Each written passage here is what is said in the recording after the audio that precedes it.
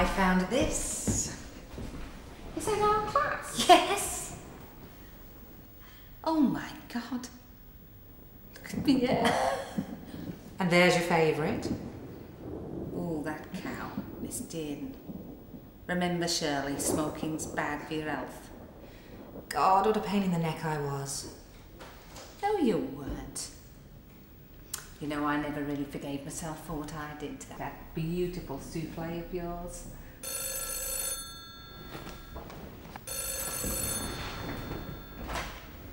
Yes. Yes. Oh, right. Uh, tell him I'll be down in five minutes. Hell, the car for the airport. I wish I didn't have to go.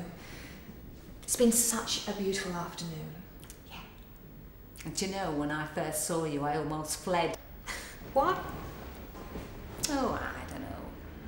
I thought you'd come lording it over me. Me lording it over you. Don't you realise I wanted to be like you? And I wanted to be like you. If only we'd known.